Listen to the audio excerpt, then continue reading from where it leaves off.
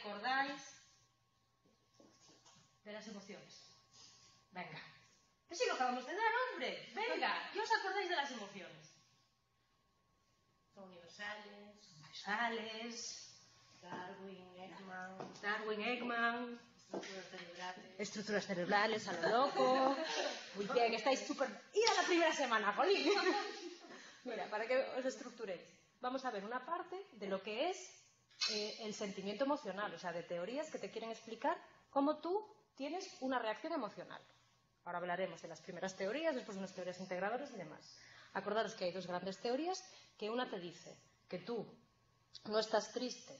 Bueno, Jason Len, Cannon Barr, ahora lo vemos con calma, pero eh, específicamente la primera, la de Jason Len, te dice que tú no estás triste y lloras, sino que, bueno, no, no lloras porque estás triste, sino que estás triste porque estás llorando, ¿vale? Y te dicen un poco cómo llegas a ser ese sentimiento emocional.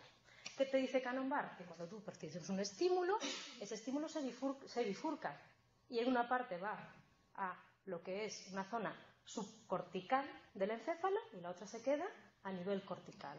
El sentimiento emocional es esa parte cortical. La sensación o la respuesta fisiológica automática es esa parte subcortical. Bien, esas son las primeras teorías. Las primeras teorías que te dicen cómo tú sientes una emoción. ¿Qué pasó a raíz de esas primeras teorías? Que trataron de localizar dónde se producía ese cambio cerebral para que tú sintieses esa emoción. Primero hablaron de que sí era culpa de la amígdala, después dijeron que era el circuito de Papez, después dijeron que era otra zona, pum, pum, pum. Esto como una primera aproximación de los primeros estudios que te hablan de lo que es el sentimiento emocional. ¿Qué pasa después? Oye, que las primeras investigaciones se basaban mucho en yo destrozo una zona y veo qué afectado está. Como lo que yo destrozo principalmente cuando quiero estudiar la emoción es la amígdala, tengo la idea de que la amígdala es el centro de la respuesta emocional. ¿Qué veremos a continuación? A raíz de lo que son los estudios con neuroimagen, vemos cómo la amígdala sí que tiene mucho en cuenta en lo que es la expresión emocional. Es lo que primero se da o primero madura en un individuo cuando él tiene que expresar lo que siente. Pero que para que haya una regulación emocional tiene que haber otra parte que esté activa, que es la corteza cerebral. Entonces, distintas zonas de la corteza cerebral que ahora veremos, corteza prefrontal ventrolateral, órbito frontal y demás, lo que hacen es regular esa actividad que tiene la amígdala. Esto en una primera parte del tema, que me hablan de lo que yo quiero sentir o cómo yo hago para percibir emocionalmente los estímulos. Una segunda parte del tema me dice, vale, una cosa es lo que yo perciba y otra cosa es lo que yo exprese. Y ahí vemos cómo hay muchísima diferencia entre un hemisferio y el otro. ¿Con predominancia de qué? ¿Del hemisferio? Derecho, ¿vale? Ojo, y ahí veremos también cómo, vale, muy bien, lo que yo expreso es universal, eh, la expresión emocional está determinada culturalmente, y ahí ya vemos que son determinadas expresiones que son universales, todo lo que tú quieras y demás. También hay una parte del tema en el que se centra en saber si la expresión emocional, ¿vale? Si yo puedo diferenciar lo que es una expresión emocional verdadera de lo que es una expresión emocional falsa o fingida. Bien. Por último, ¿qué es lo que vamos a ver? Oye, yo expreso emocionalmente, más en el hemisferio derecho, más en el tal, tal, tal, tal, tal. Pero tengo una gran variedad de expresiones emocionales. Todas las partes del encéfalo se activan por igual si yo estoy expresando alegría o si yo estoy expresando miedo o si estoy expresando asco. No. Hay determinadas zonas de la corteza ¿vale? que se activan en una emoción y no en otra. Y eso es lo que vamos a ver al final. ¿vale? Bien, resumen. Tuy, ¿todo bien? Entonces, bueno, asumo que estaréis ahí. Empezamos. Primeros estudios, ¿vale? Sobre la psicobiología de las emociones. Bueno, niña, primeros estudios, ¿vale? Esos que son, que no tienen a lo mejor un contraste de resonancia neurofuncional que te pueden decir eh, dónde van y demás. Este señor de aquí. Estos señores de aquí. James y Lange. ¿Qué me dicen James y Lange? Que las emociones son respuestas cognitivas a la información que la corteza cerebral percibe de qué? De los cambios fisiológicos que tienen lugares en el cuerpo. ¿Qué es lo que me dice la teoría de Lane? Que yo siento una emoción porque interpreto cognitivamente un cambio corporal. No lloro porque estoy triste, sino que estamos tristes porque lloramos. ¿Sabes qué es lo que hay primero? La respuesta del cuerpo. ¿Qué es lo que hay después? Ese sentimiento emocional que no es más que la interpretación cognitiva de ese cambio. ¿Sí? En contraposición con esas primeras o esas primeras teorías de la expresión emocional, tenemos a este señor de aquí, o a estos señores de aquí, que se llaman Canon Bar, ¿vale? Que me dice que hay, como por decirlo así, dos vías. El estímulo sensorial llega, por un lado.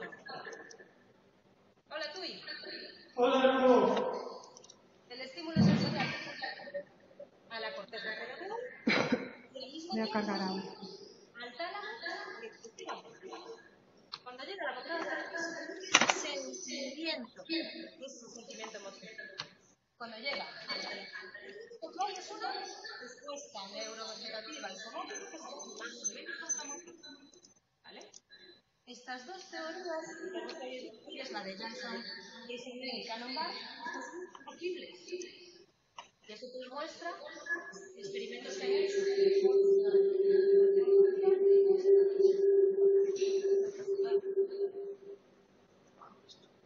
¿Escucháis bien, Tui? Vale. Sí, sí, sí, ya te apago aquí. Vale, vale, perfecto, ¿vale? Entonces, ¿qué te están diciendo los experimentos que hacen de, oye, ya verás como cuando sonrías tu sentimiento de felicidad con otro que no tiene esa retroalimentación facial? Pues te está diciendo que esas dos eh, teorías, por decirlo así, oye, son más o menos compatibles, ¿vale? Primeros estudios que le quieren dar aporte neuroanatómico a estas, a estas teorías. Pues el mismo Cannon Bar me habla de qué? De estructuras talámicas o subcorticales y estructuras corticales. Me hablan del tálamo, me hablan de una estructura o de una parte que llega a la corteza y de otra que va al hipotálamo, ¿vale? Ya me están buscando dónde localizar ese sentimiento emocional y dónde localizar esa respuesta neurovegetativa. El sentimiento emocional lo localiza en la corteza y la, respuesta automática neurovegetativa pues en el encéfalo, en el hipotálamo. ¿Vale?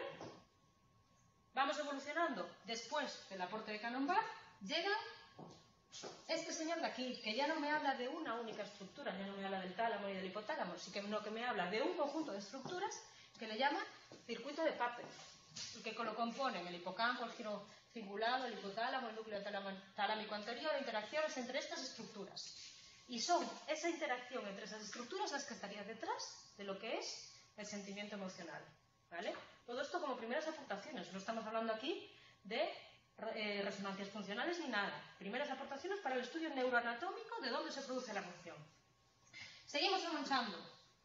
Este señor de aquí, este señor de aquí, al ver al que los monos eh, no tenían respuestas de miedo cuando se lesionaba la amígdala, llega a la conclusión de que esa amígdala es una estructura importante a la hora de la expresión emocional.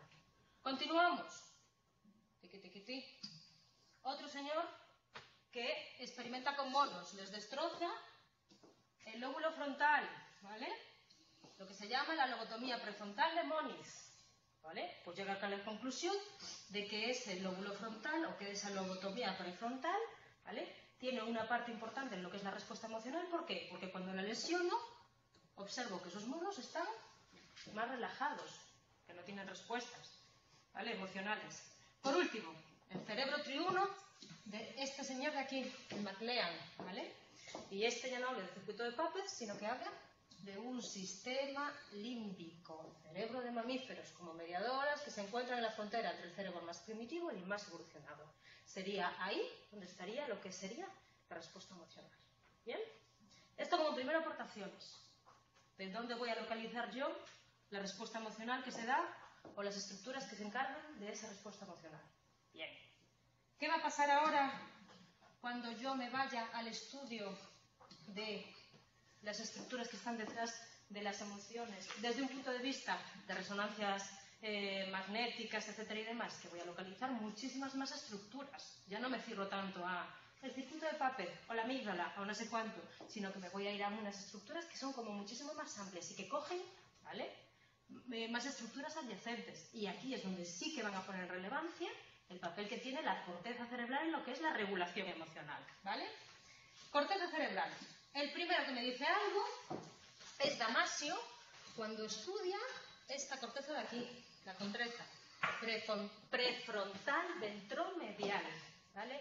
Esta corteza prefrontal ventromedial me dice Damasio que tiene conexión con todo esto de aquí y que su respuesta para estas zonas de aquí y estas zonas de aquí. ¿Vale? Y según Damasio, esa corteza prefrontal ventromedial estaría detrás de lo que es la regulación emocional. ¿Sí?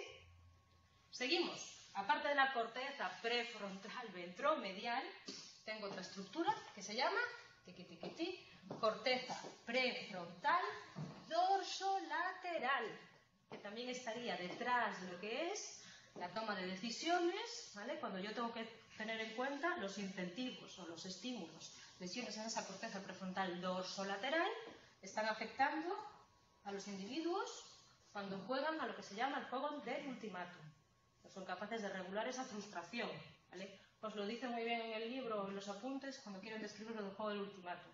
¿vale? Son individuos que tienen que decidir si aceptan o no una oferta, ¿vale? sabiendo que puede ser más o menos injusta, si se les pone como condición que es la única que van a tener, que si la rechazan no van a tener otra. Pues están viendo que la lesión en esa corteza prefrontal dorsolateral está afectando a esa toma de decisiones de los individuos en el juego del ultimátum. ¿Sí? Vale. Siguiente estructura. Corteza cingulada anterior. ¿Vale? Esta corteza cingulada anterior está afectando la respuesta emocional. ¿Por qué? Porque está muy en contacto con lo que es la interocepción, con lo que es la percepción de los cambios que se producen en mi propio cuerpo. Si yo no sé valorar cómo están los cambios en mi propio cuerpo, difícilmente podré tomar eh, decisiones emocionales, por decirlo así, racionales. ¿vale? Además, está afectando a emociones como puede ser la tristeza, la angustia y el asco. Eso como emociones personales. Y está detrás de emociones interpersonales como la empatía, el rechazo social y la valoración social. ¿Sí?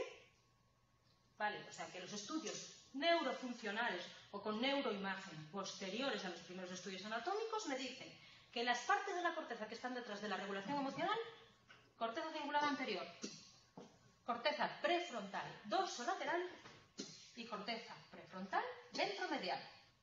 ¿Lo veis? También en los estudios de neuroimagen, ojo, no se olvidan de la importancia que tiene la amígdala, que madura antes que la corteza, y que tiene mucha importancia en lo que es ese sentimiento emocional, esa expresión emocional. ¿Vale? La corteza será importante para lo que es la autorregulación de, de lo que es la actividad de la amígdala. ¿Lo veis? ¿Sí? Primeros estudios hablan de ciertas estructuras, circuito de Papas y demás, y sobre todo los de neuroimagen, amígdala, corteza prefrontal ventromedial, corteza prefrontal dorsolateral y corteza cingular anterior. ¿Vale? Vale. Si la amígdala es el inicio de lo que es el sentimiento emocional y que de ahí esa tiene que estar regulada en un determinado momento por partes de la corteza, tiene que haber vías, vías para que la información llegue a la amígdala y bien se quede en una parte eh, subcortical o bien llegue a lo que es la corteza. ¿Vale? Bueno, pues este señor de aquí, Ledoux, describe dos vías de procesamiento. Una vía cortical, que se llama lenta, y otra vía talámica, que es rápida y más automática. Esta vía cortical es más lenta, pero más adecuada. Esta vía talámica es más rápida, más efectiva, ojo, pero más eh, inexacta, por decirlo así. ¿Vale? ¿Lo veis?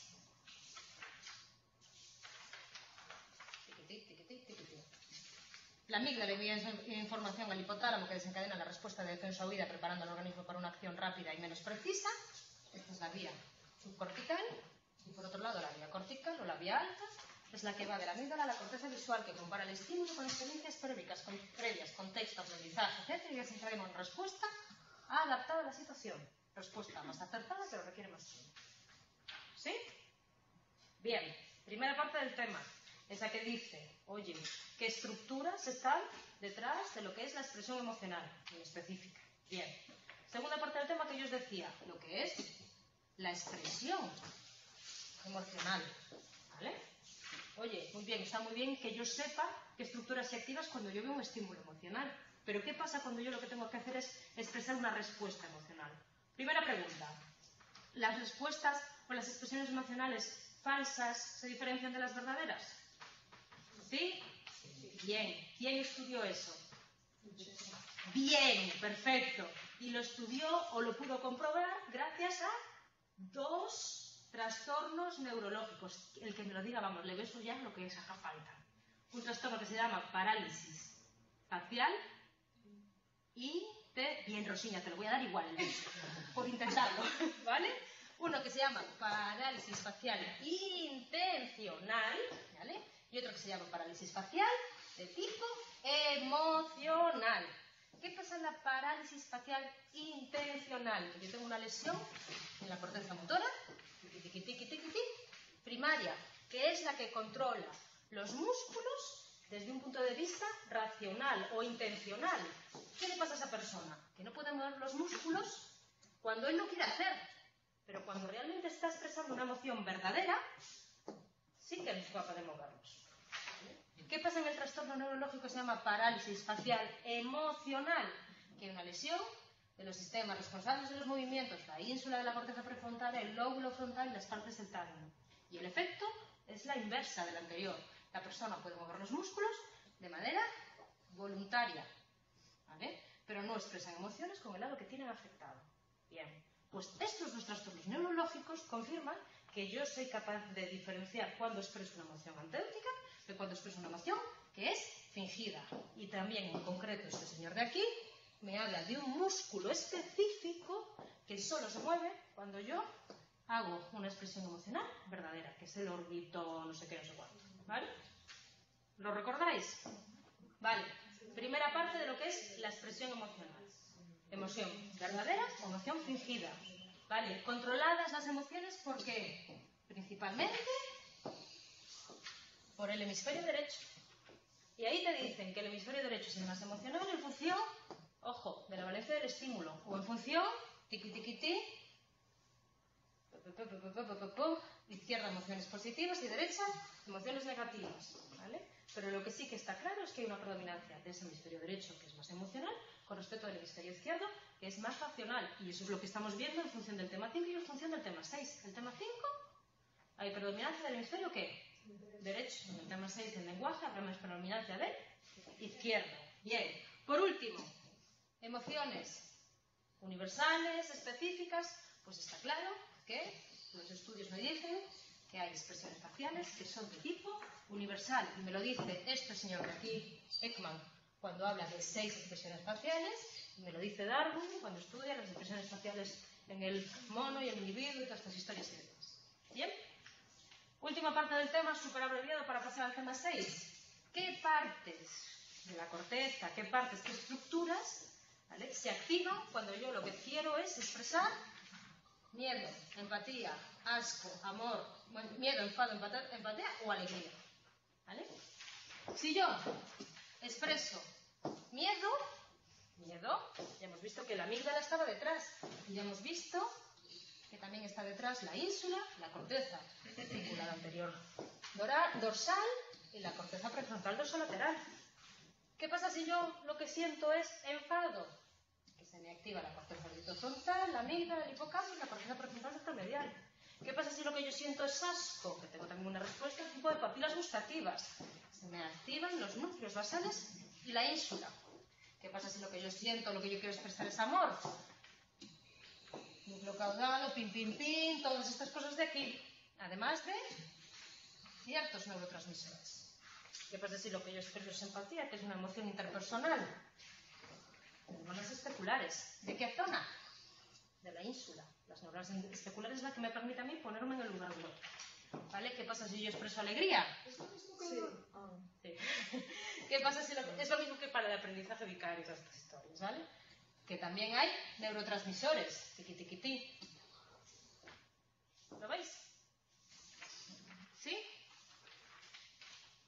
Por último, propuestas integradoras actuales de lo que es la expresión emocional. Y estas sí que son un coñazo, porque son jerárquicas, distintas emociones están afectadas o están reguladas por distintas estructuras del encéfalo, todas estas y que dicen más.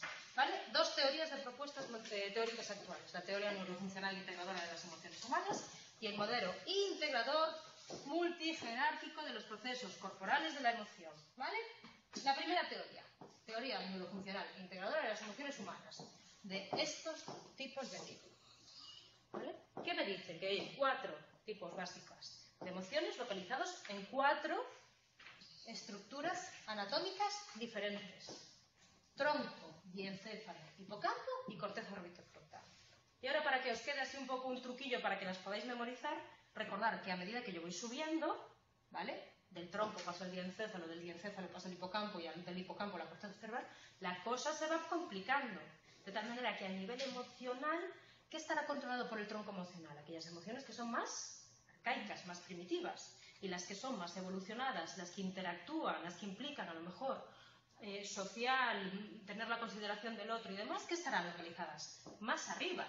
Los cuatro sistemas afectivos han surgido ¿dónde? En momentos evolutivos diferentes y cada uno de ellos es capaz de generar una clase específica o cualidad de los afectos. A nivel del tronco, función relevante, la activación ascendente y modula la atención, la alerta y los ciclos de sueño y vigilia, lo más primitivo, las señales de alerta, ¿vale? Por decirlo así, más básicas.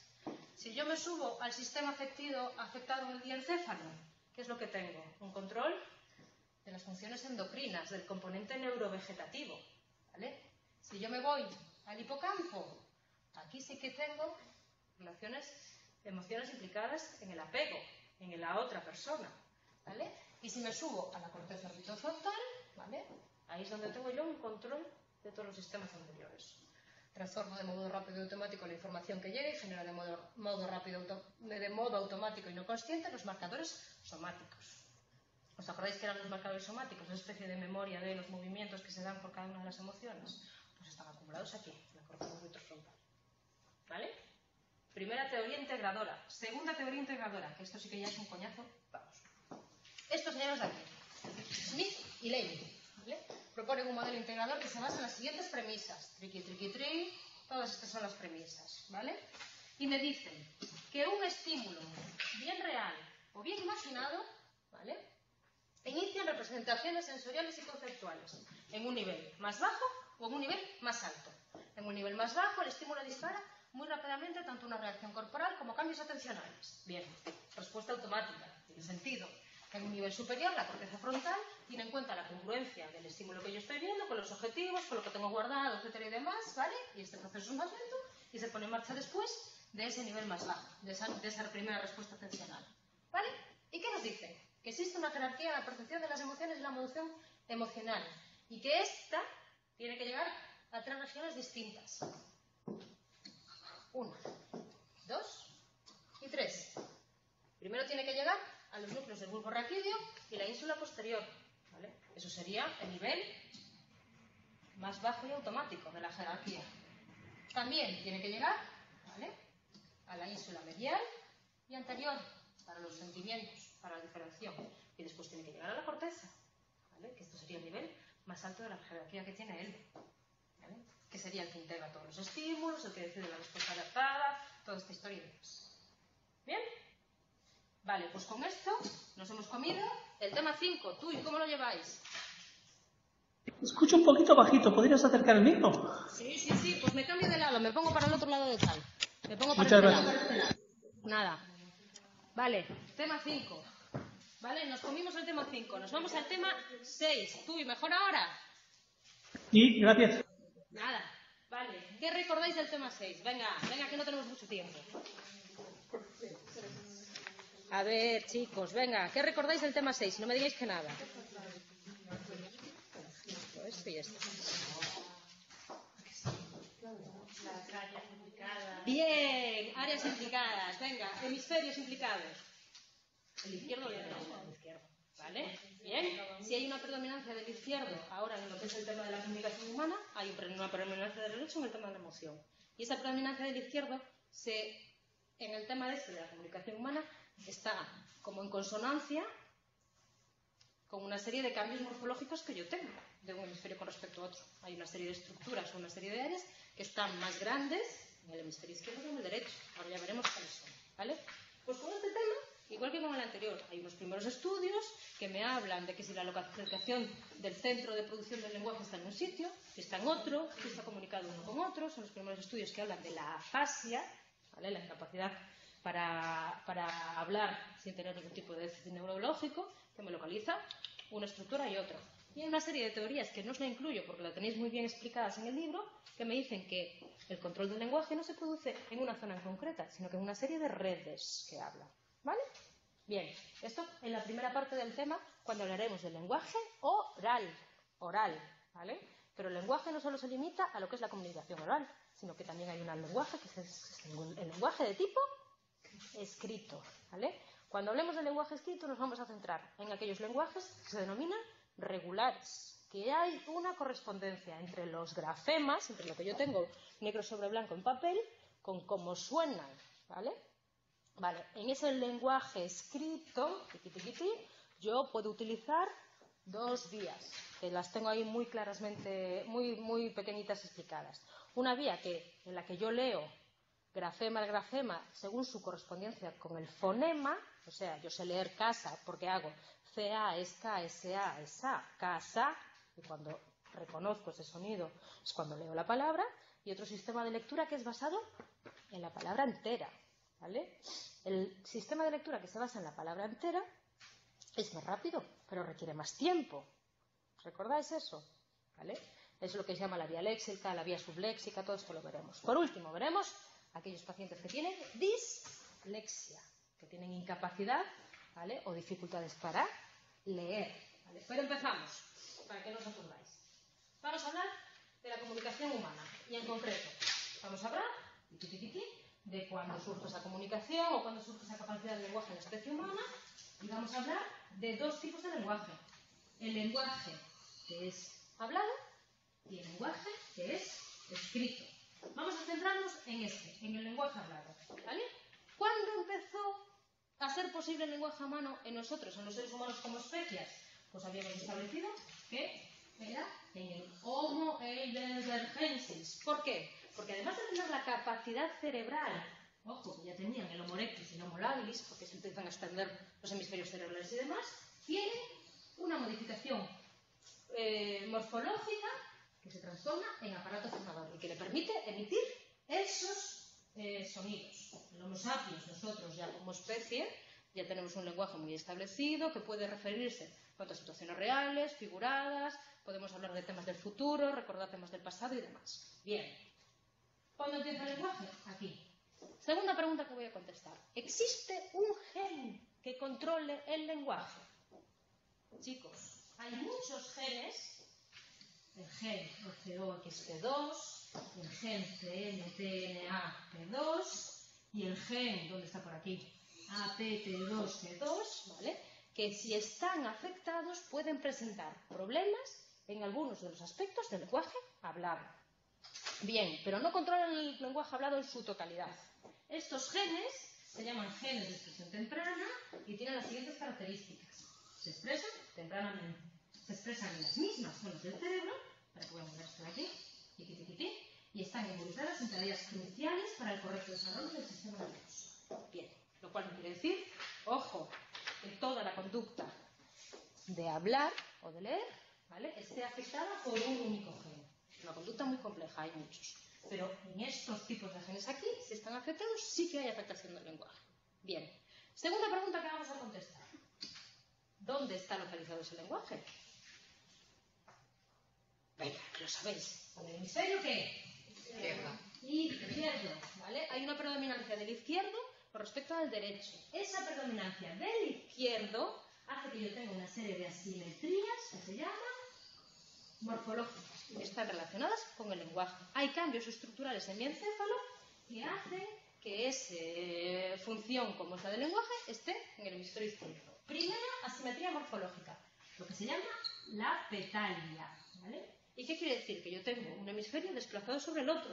En concreto, el lóbulo frontal del hemisferio derecho, triquití, sobresale con respecto al izquierdo.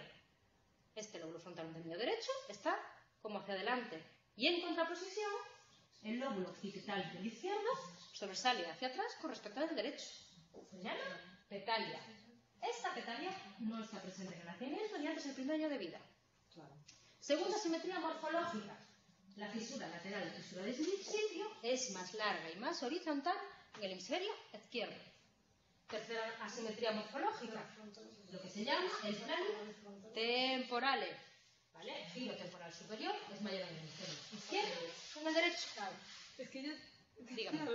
dibujo absurda. En, o sea, en el dibujo que tienes de los lóbulos, claro, te ponen que el lóbulo frontal del hemisferio derecho.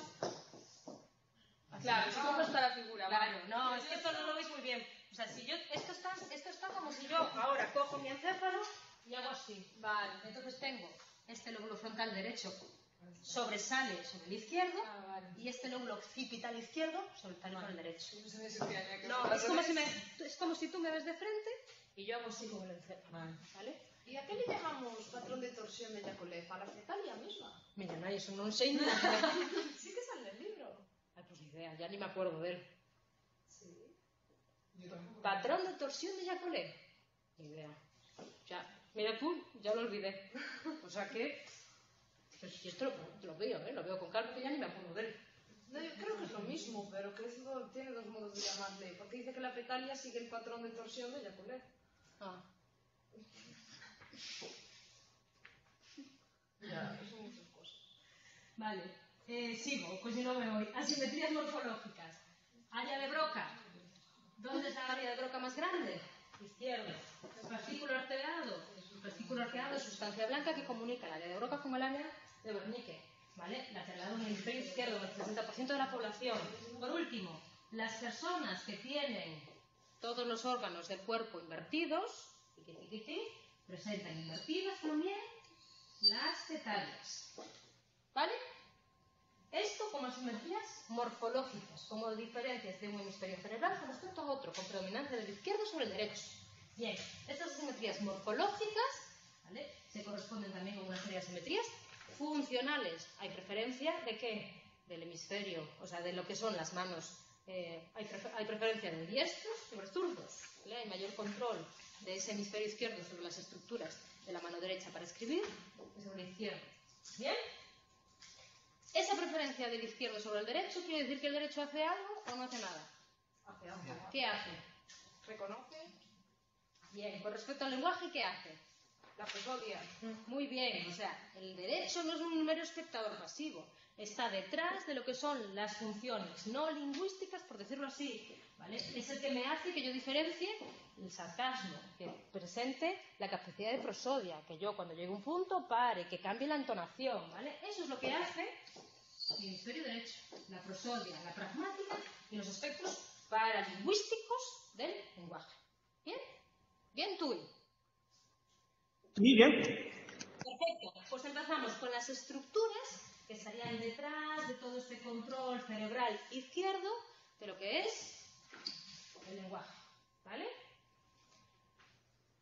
Vamos a centrarnos principalmente en los datos que provienen de aquellos pacientes que sufren una fase, una dificultad en leer que no está justificada ni por un déficit, no, bueno, no, por un déficit neurológico, no, que está, que está fundamentada por, un, por, un, por una destrucción de un área, ¿vale?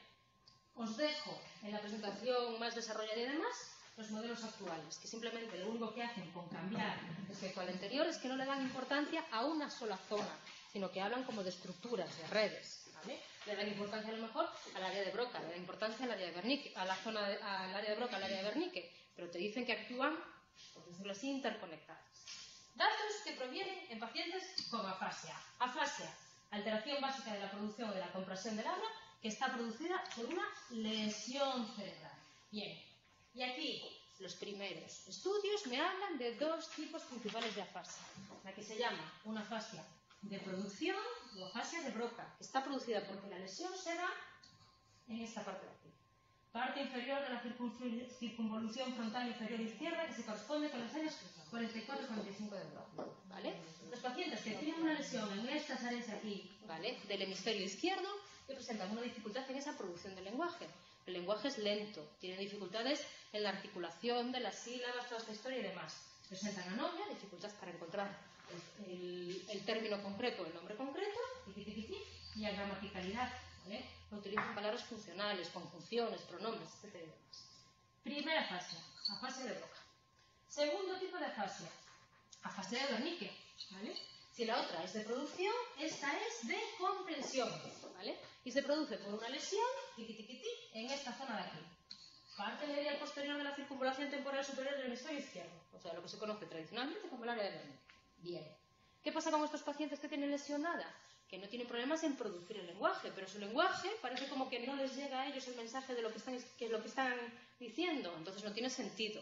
Son verborreicos, no tienen ningún problema en lo que es el tono del lenguaje, o a lo mejor lo tienen un poquito enlentecido, ¿vale? Pero carentes de sentido. ¿Bien? Vale. Tercer tipo de afasia. Esta zona de comprensión, en los primeros estudios, yo la tengo que unir con esta zona de producción.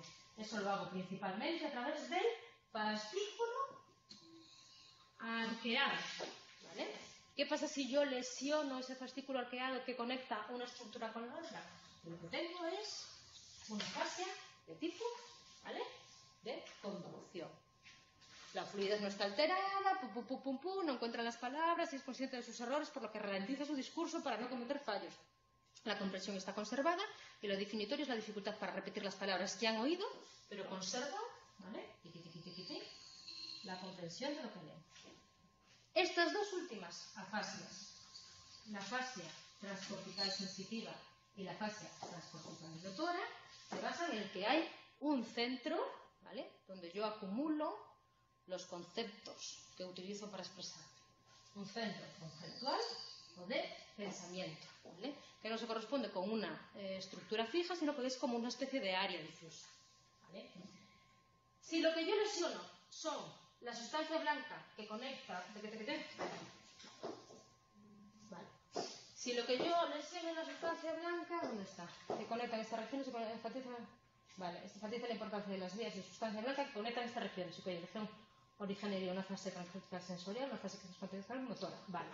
Si lo que yo lesiono son la sustancia blanca que tiene que recibir el estímulo auditivo y llevarlo al centro conceptual, tengo es una fase transcortical, sensorial, lo que recibo por los oídos, no llega a ese centro de pensamiento. Si lo que yo lesiono es la sustancia blanca que va de ese centro de pensamiento a la producción, lo que tengo es una fase transcortical de tipo motoras, ¿vale? No se pueden, los que yo tengo pensado, no lo puedo realizar por un déficit de conexión del área del pensamiento y el área del. ¿Sí? Esto como primeros estudios que se centran en los pacientes que tienen afasia, que tienen una lesión en una zona cerebral concreta. Bien. Las siguientes teorías, que yo no os la pongo aquí, que las tenéis bien desarrolladas, se basan en que ya no es una estructura en concreta, sino que habla de eh, muchas estructuras y de las conexiones que mantienen las estructuras entre sí. ¿Vale? Dicen que la conexión entre las distintas estructuras que se encargan del lenguaje no se limitan solo al fascículo arqueado, ¿vale? Que, se tienen más sustancia blanca que conectan la una con la otra. No me distinguen ya tan clarísimamente en una área solo ocupada de la comprensión y en una área solo ocupada de la, de la producción, ¿vale? Me hablan más bien de una red más o menos extensa. ¿Sí? Bien. Así, resumido, rápido y corriendo, hablamos de lo que es la producción y la comprensión del lenguaje oral. Ahora nos vamos a centrar en la producción y la comprensión del lenguaje que se habla o que es de tipo escrito. Y nos vamos a centrar muy específicamente en el lenguaje que se llama transparente o regulares, donde hay una correspondencia entre el código fonético y el grafema que yo tengo ahí. ¿vale? Hay otros lenguajes que son de tipo ideográficos, donde los grafemas no se corresponden con los fonemas, sino que representan conceptos, como puede ser el lenguaje japonés, toda esta historia y demás. En nuestro caso hay una correspondencia y esa correspondencia es fonema-grafema, por eso se dice que es transparente o regular. ¿Sí? Vale. Lo que yo tengo en el papel, lo que yo tengo a través de las palabras, lo puedo leer de dos maneras posibles. Si hago una lectura de tipo fonética, ¿vale? identifico con los grafemas que me corresponden, uno a uno. ¿Bien? Es una lectura lenta, porque hago llama grafema, pero me permite leer todo tipo de palabras. Aquellas que son verdad, aquellas que son inventadas, aquellas que son más o menos largas, aquellas que son más o menos lentas. ¿Qué pasa con el tipo de lectura que se llama lectura global? Que yo lo que hago es identificar la palabra en su totalidad. ¿Vale? Es muy rápida, pero requiere que yo tenga antes un conocimiento previo de la lengua. Cuando yo estoy aprendiendo a leer, cuando los niños están aprendiendo a leer, ¿qué utilizan principalmente? Esta lectura de tipo fonética. Cuando ya están aprendiendo las palabras, se pasan a esa. ¿Bien? Modelos que tratan de explicar cómo yo leo. Este modelo de aquí, que es el modelo de la doble vía, para lo que es cómo se produce la lectura en los adultos, y el modelo del triángulo, para lo que es cómo los niños aprenden la lectura, a medida que van aprendiendo a leer, toda esta historia y demás. Me voy al segundo. ¿Qué es lo que me dice el modelo del triángulo? Que los niños, cuando empiezan a leer, lo que tienen que hacer es poner en correspondencia el significado con el grafema, con el fonema, ¿vale? Y esas tres grandes estructuras, o esos tres grandes conceptos, representaciones ortográficas, fonemas y semánticas, mantienen relaciones, ¿vale? Bidireccionales.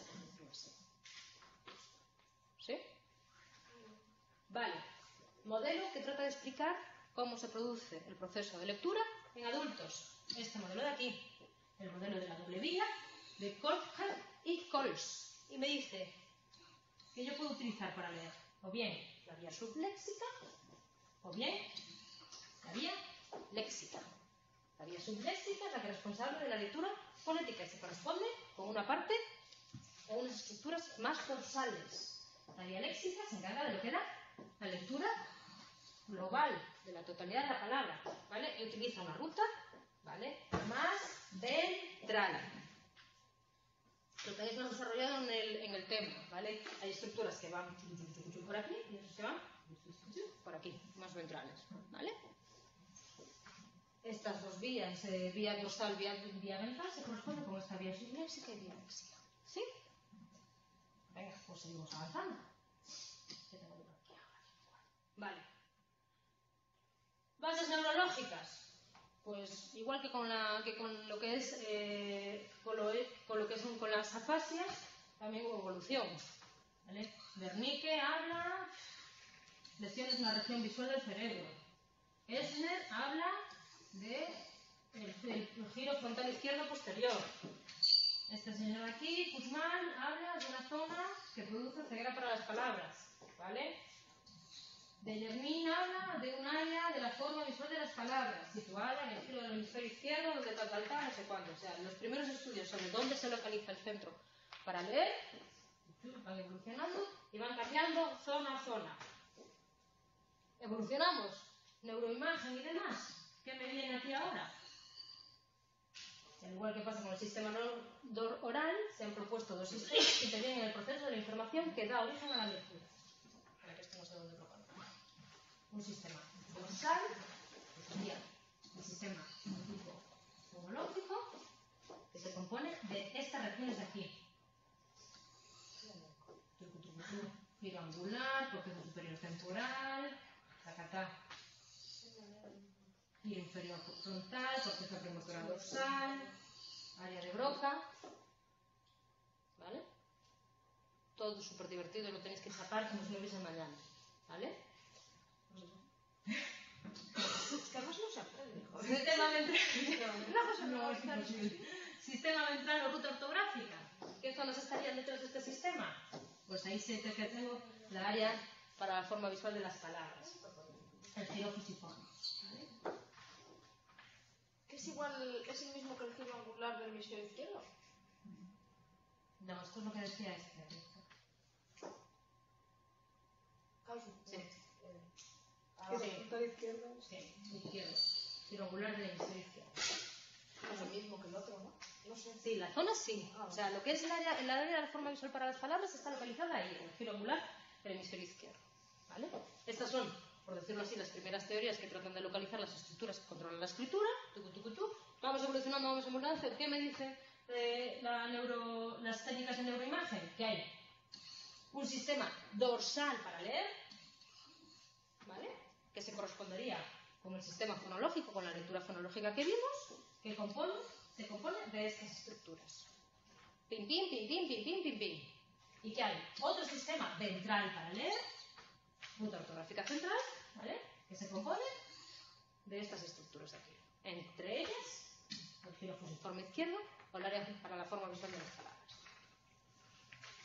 Bien, ¿qué pasa si yo lesiono algo de esto? ¿Qué pasa si yo tengo problemas a la hora de adquirir el hábito de la lectura? Si se dice que tengo una, muy bien, la pasas, ¿vale?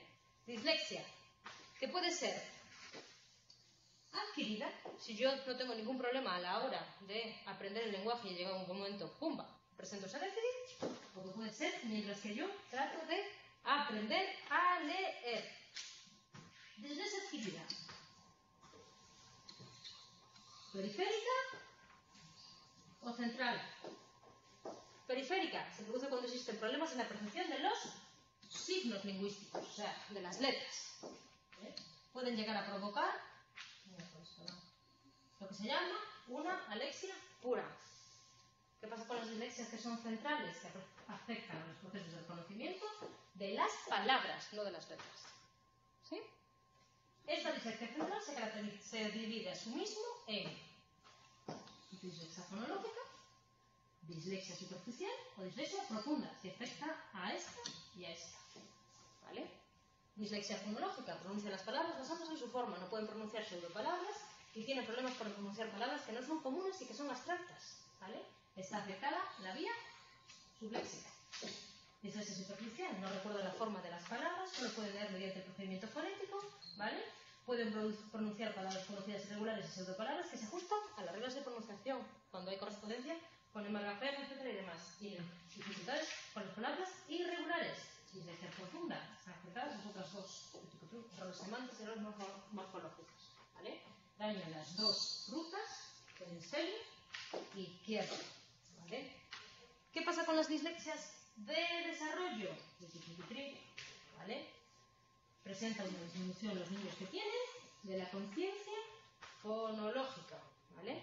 Y aquí sí que hay que hay ciertas estructuras cerebrales que o bien están hipoactivadas o bien están hiperactivadas en niños que presentan dislexias del desarrollo. ¿Vale?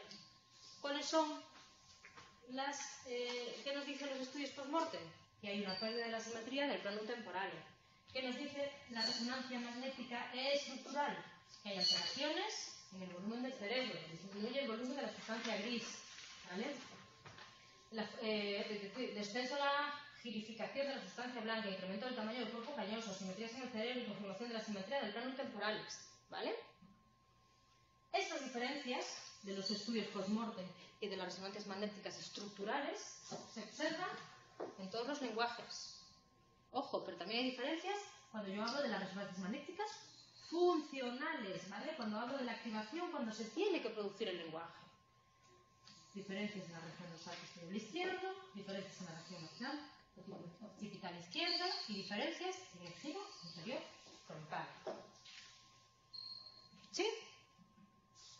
Tuy, pues con esto terminamos. ¿Cómo lo lleváis? Hay que estudiar mucho. Hay que estudiar mucho. Bueno, nadie dijo que fuese fácil. ¿Vale? Chicos, con esto revisamos tema 5 y tema 6. ¿Vale? Eh, lo dicho, os quedáis con el tema, lo estudiáis. ¿Que tenéis alguna duda? Sabéis que yo el viernes estoy aquí de 5 a 7